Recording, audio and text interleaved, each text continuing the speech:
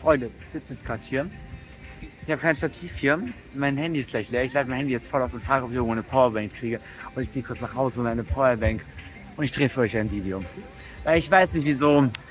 Ich habe das Bedürfnis, mit euch zu reden. Ich schaue gerade nicht in die Kamera. Ich schneide das Video nicht, gar nicht. Null, komplett authentisch. Ich sitze da, wo meine Vergangenheit angefangen hat, 2019.